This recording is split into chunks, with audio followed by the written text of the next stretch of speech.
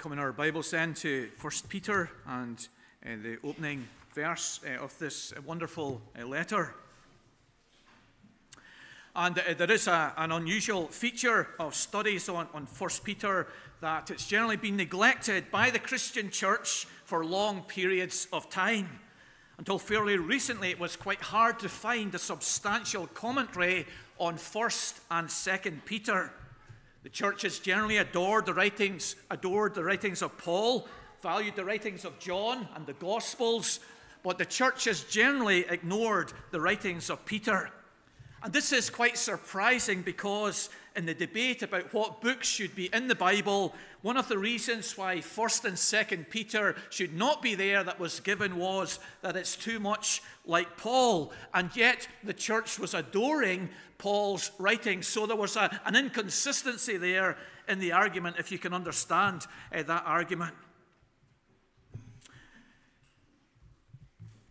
The neglect of Peter and the preference for the writings of Paul and John and the Gospels may still be a characteristic of the Christian church today.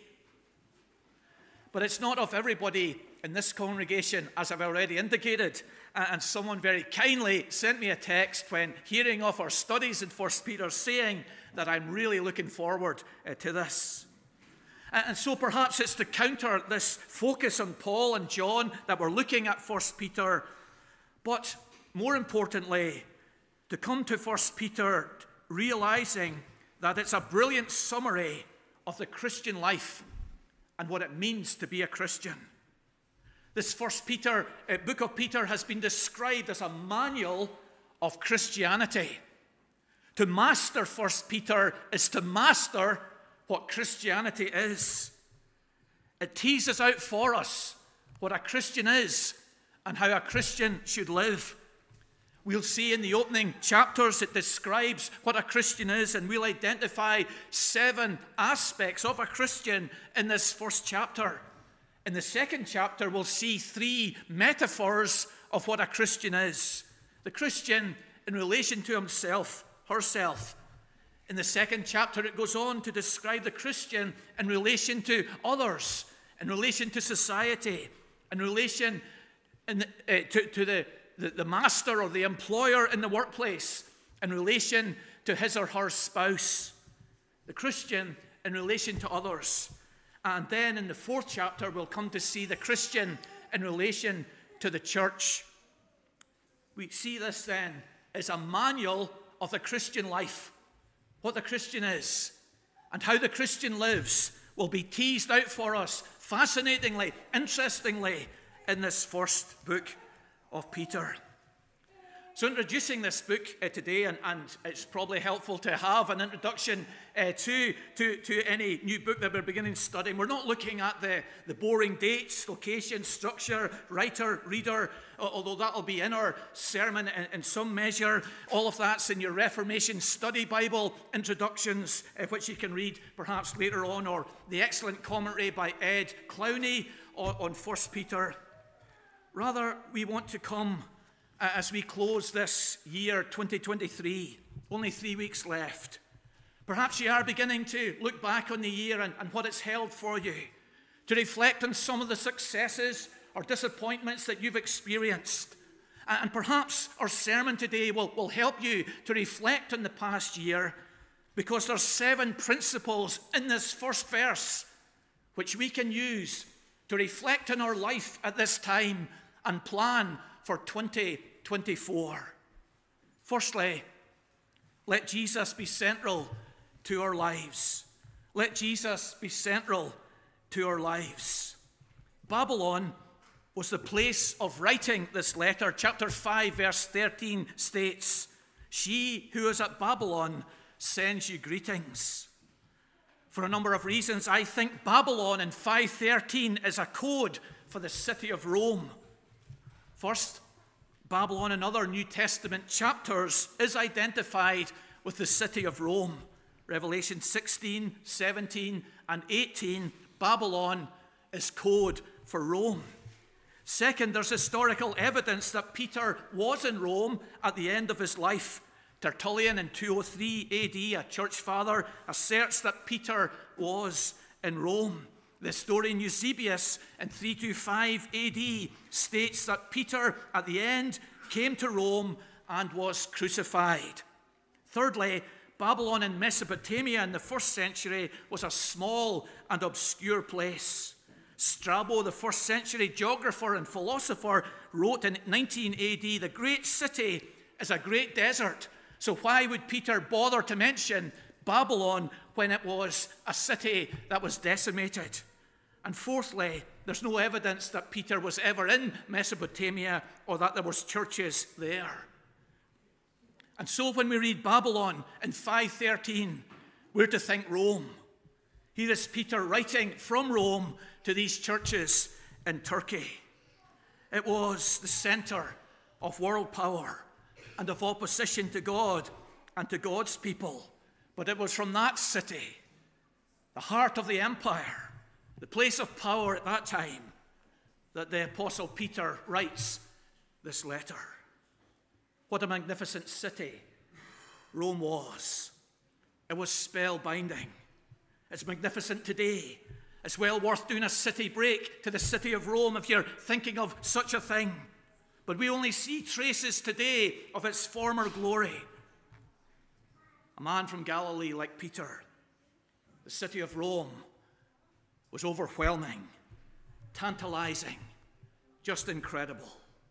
Today we can go and we can see the straight streets and we can imagine the charioteers racing down the straight streets in Rome with those high buildings on, on either side and people hanging out and cheering on their heroes from, from those uh, windows up on the high buildings. We can see the streets. But Peter saw the chariots and the racing and heard the noise in the city of Rome in its height in the first century. We see the remnants of the Colosseum and we can use our imagination to, to picture that the crowds that were there uh, and the, the games that were going on in the center of that stadium. But Peter could visit the Colosseum, could watch the games, could hear the crowds with his very ears. What a magnificent place Rome was in the first century. Everyone wanted to go there, be part of it. But Peter wasn't spending his time sightseeing. He wasn't distracted from his calling. Roman history or archaeology did not take over his life at this point. Christ remained king of his heart, and love of the church remained prominent in his soul. Jesus was central to his life. And all of us are surrounded with distractions. Teenagers, on average, spend 4.8 hours a day on social media, and perhaps that's a distraction for some teenagers. Older people uh, who avoid social media, they spend hours reading the newspaper or watching their programs. All of us, like the Apostle Peter, are surrounded by tantalizing, interesting, gripping things which will sap away our time. Well, let's, like Peter, of Jesus, the center of our life. What dominates our thoughts at this time? Our life, our time? Is it the new bathroom we're putting in? Changing the car in the new year? The summer holiday that we're planning? The festive shopping that we're engaged in, these things taken over in our life? We need to study 1 Peter he barely mentions himself or this magnificent city. The book is all about Jesus and what made him like that. Peter had seen, he tells us, the greatest sight. 5 verse 1 He was a witness of the sufferings of Jesus. And that sight of Jesus hung between heaven and earth, bearing away the sin of the world, his sins included, transformed the man and placed Jesus at the center of his life. Secondly, let us serve Jesus better. chief objection to Petrine authorship is the good quality of the Greek in this letter. First Peter is written in excellent Greek. The letter exhibits an author with a good vocabulary and an ability to effectively use a wide variety of verbal forms and sentence structures. And this leads one writer, Beare, to write of Peter that he should that he should ever become a master of Greek prose is simply unthinkable. We disagree with Beare, of course. We recall the amazement of the Sanhedrin at Peter's linguistic ability in Acts 4:13. Though he was unlearned, that is, never been at the rabbinic schools, he was eloquent and powerful in his oration. Greek was commonly spoken in Israel. A plaque in the temple in Jerusalem, unearthed in the 19th century, warned Jews not to go beyond that point, and it was written in Greek.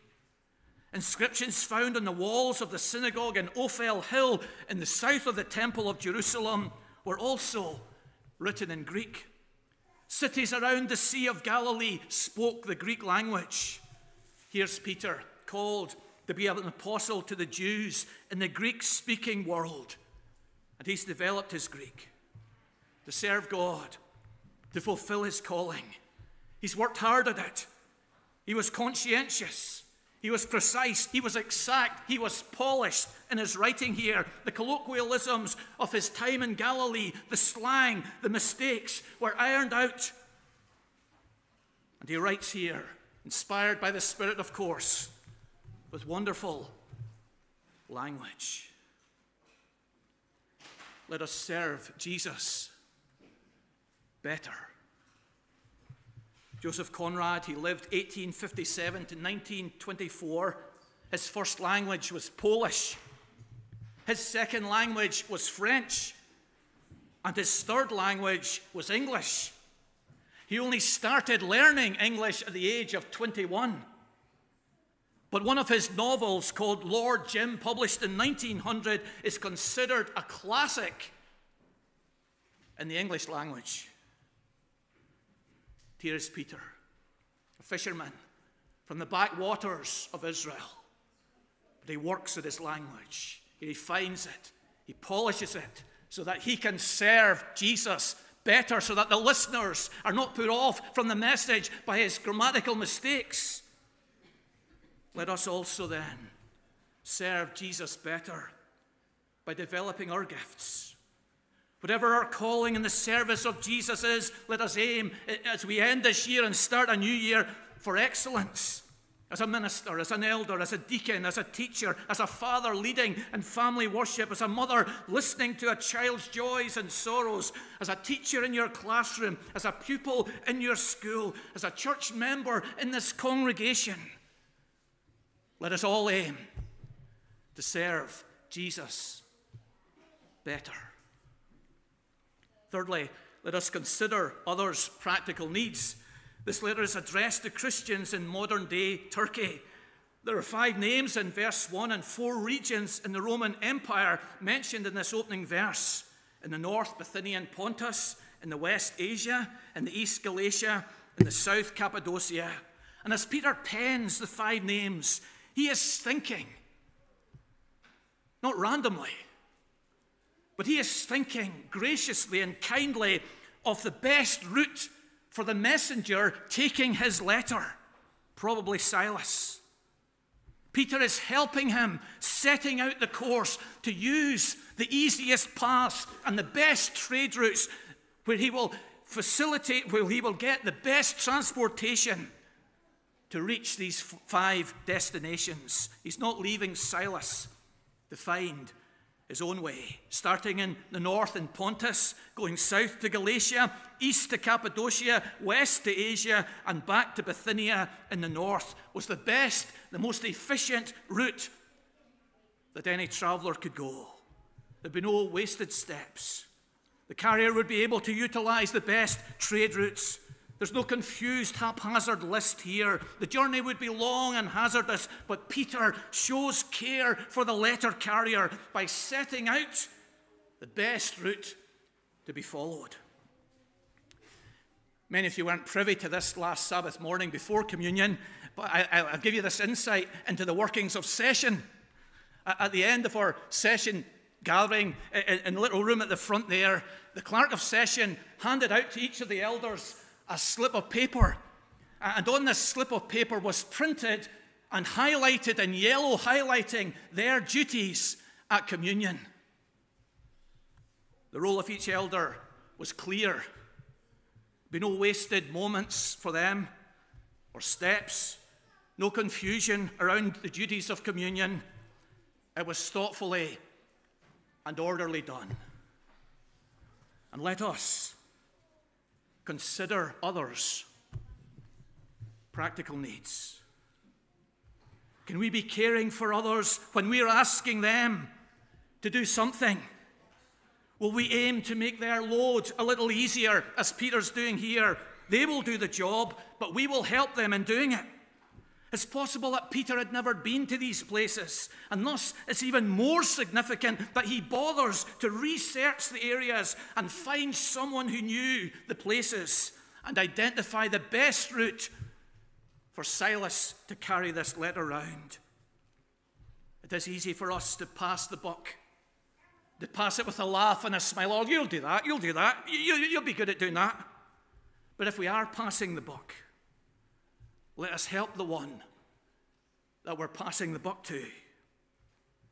Peter is not going to take this letter to these five places. His feet are not going to get blistered. His teeth are not going to chatter in the cold weather. His face is not going to be battered with the rain. His heart is not going to be pounding at the howl of wolves.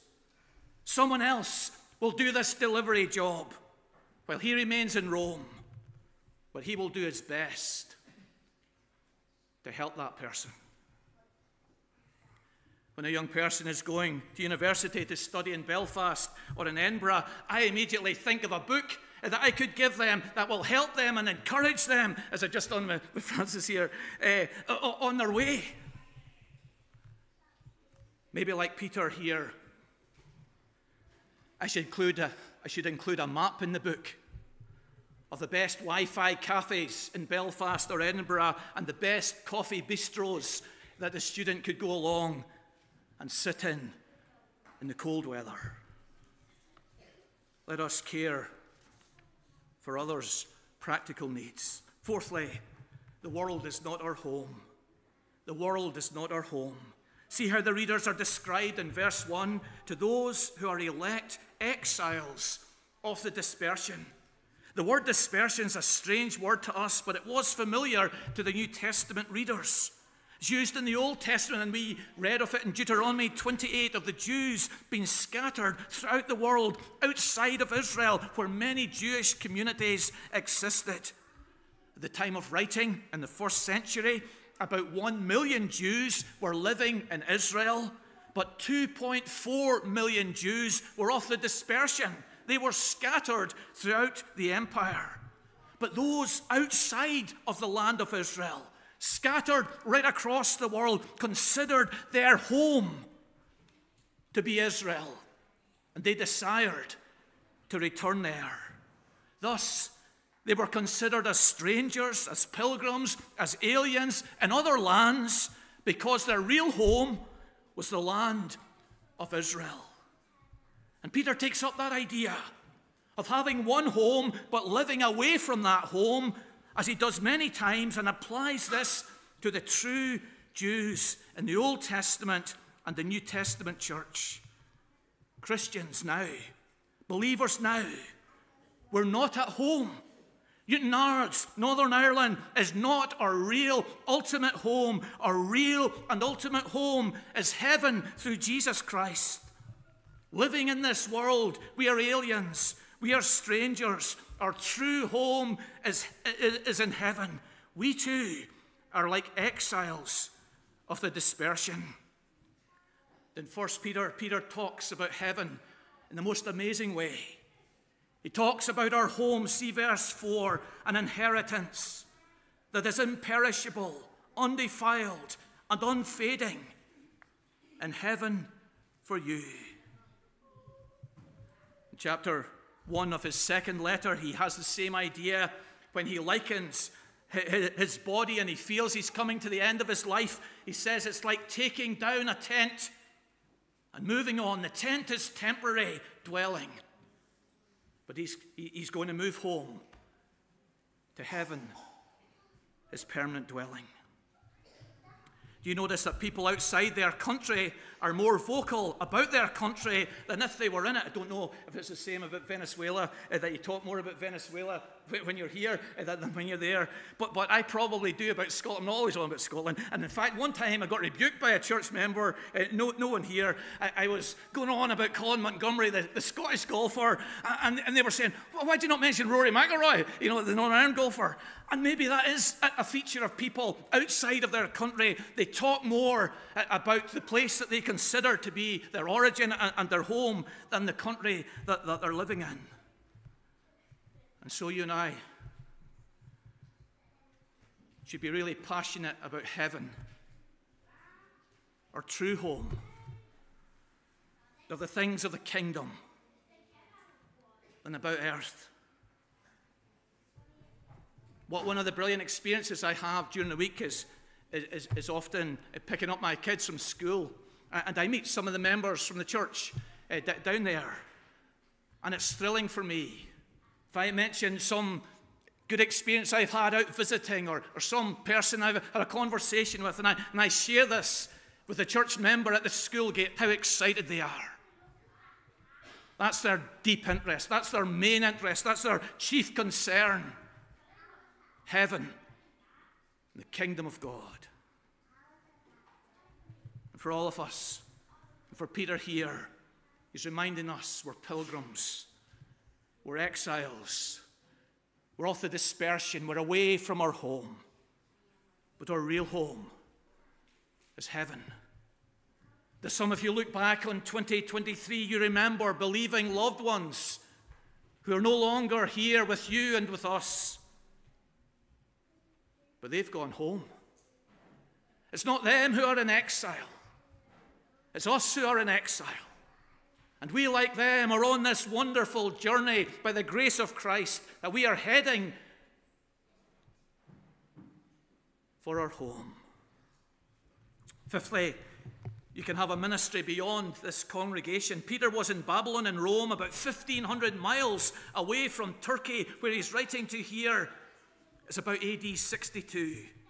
Tertullian speaks of Peter's ministry in Rome in glowing terms. How happy is a church on which the apostles pour forth all their doctrine. Peter was passionate, enthusiastic, responsible, and committed to his ministry in the church in Rome. He worked hard on building up the believers in that city. But he also cared for and ministered to believers who were distant from him. He pens this letter to encourage them in the faith and obedience and sends them this faithful messenger, Silas. None of that will directly help his ministry in Rome. It's time and effort and energy spent on Christians outside of his congregation. But it's a ministry for the kingdom, a ministry for his Lord.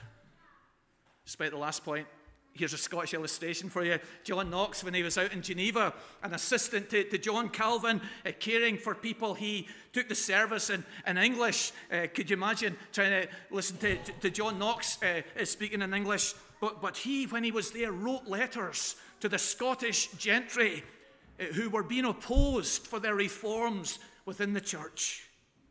Though he was in, in Geneva ministering there, his hands full of ministry, yet he had time and interest and passion to write to others. And we too are to have a mission interest, a care for the work of Christ beyond this congregation. And we too are to try and help in some way. We pray for Mark, we pray for Hannah, but can we do more? I heard this week uh, uh, from Andrew uh, about Sashko out in Ukraine, translating the Reformation Study Bible into the Polish language. What a project this is, and we can pray for that, but can we do more? Peter prayed for these believers in Turkey, but he did more. He wrote to them this deeply encouraging letter. Sixthly, be willing to minister outside your comfort zone. Peter was appointed by the Lord uh, to, and the church uh, to be the minister of the Jews. Galatians 2 7. He was a Jew. He understood the Jews, the mindset, the laws, the customs of the Jews. That was his main focus and interest. That was where he was comfortable with, ministering and teaching the Jews. But this letter is predominantly to Gentiles. The phrase we read in chapter 1, verse 18 your aimless conduct received by tradition from your fathers. Chapter 2, verse 10 who once were not a people. Chapter 4, verse 3 we have spent enough of our past lifetime doing the will of the Gentiles. All of these phrases indicate that he was writing primarily to Gentiles. This was not his comfort zone, not his bread and butter ministry, but he heard of their need and he determined to meet their need. Let us be willing to minister outside of our comfort zone. Types of people are fascinating, aren't they? The yellow, bubbly type, the red, angry type, the green, developing type, the blue, cool type. And sometimes we need to change colour. The angry to be cool, the cool to be bubbly, to go outside of what we're comfortable with. Some people try to do everything and fail miserably. Some people do everything and, and, complain about doing everything. Other people say, That's not my job, even when there's great need. Paul was the apostle to the Gentiles. This was his area, his patch, his parish, the apostle Paul. He's not mentioned in this letter, so he might be absent from Rome. He might be away missionary work in Spain. But the churches in Turkey had a need. And Peter was there in Rome, his hands full of ministry, his main focus being the Jews, and yet he went out of his comfort zone. And he writes to the Gentiles. Maybe you're a baker. Your 40 is leaving a bag of freshly baked scones on the door handle of a shut in. Maybe there's some other ministry that God's asking you to do. Maybe you're a pen pusher. Sometimes you might be willing to stack the chairs in the church hall. Lastly, let's remember our place in redemptive history. Throughout this book, as we'll see, and as we've already seen, Peter keeps connecting the history of the New Testament believers here to the Old Testament church. His main thesis is that these believers he's writing to now are now God's people. They're the chosen, they're the witnesses, they're the called. He gives us the image of the church as being a building connected to one another, and that connection is throughout the ages, the believing in all ages, being together, the temple and place of God. What a wonderful thing it is for us as a congregation to recognize our connections to God's people over the centuries and our connections to God's people currently throughout the earth. As we read and hear of mission work, the church growing and persecuted throughout the, the earth, we recognize our connection to other believers.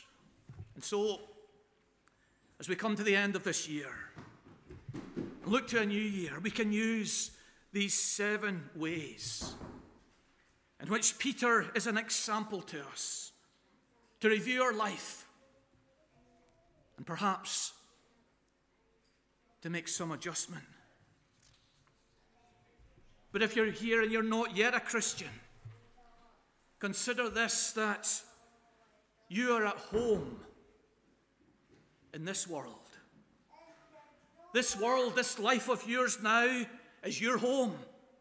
This is all you have. This is the best that you have. This is the best that your existence will ever be. Because what waits for you after death is awful unspeakable, and eternal judgment. You need to change that by God's grace.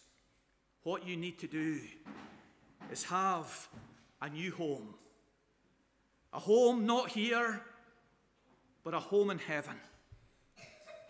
For that to look forward to after this life, as you repent of your sins, as you believe in the Lord Jesus Christ who died on the cross for the sin of the world, you will be forgiven, and you, by God's grace, will have a home certain, sure, glorious, in the presence of God forever and ever.